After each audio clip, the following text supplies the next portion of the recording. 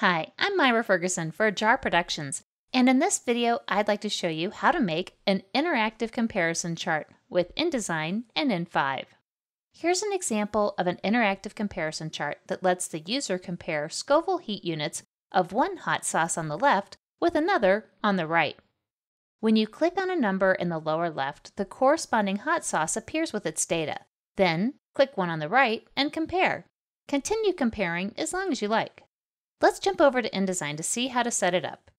Here's a layout that I've started that includes the title and the main graphic with all of the hot sauces labeled with a number. Below, there are some instructions and corresponding numbers. I've already paired the individual hot sauces with their Scoville heat units and grouped them. Now I can set up the comparison. I'll create a multi-state object, or MSO, and buttons to make the selections. To make the MSO, I'll select the grouped contents and align their centers. I'll go to Window, Interactive Object States and click the plus button at the bottom of the panel to convert the selection to a multi-state object. Let's name the MSO Chart.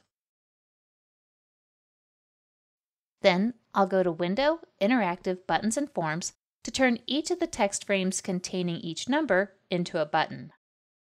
I'll give the button an action to go to state, set the multi-state object to chart, and set its corresponding state.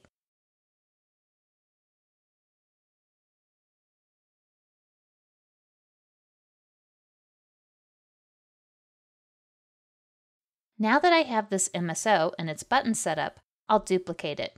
So that InDesign keeps the actions I've set on the buttons, I'll duplicate this content by holding down Option on macOS or Alt on Windows and drag. InDesign will append a 1 to the name of the MSO and use that new name for the MSO on the duplicated buttons. Let's save and export.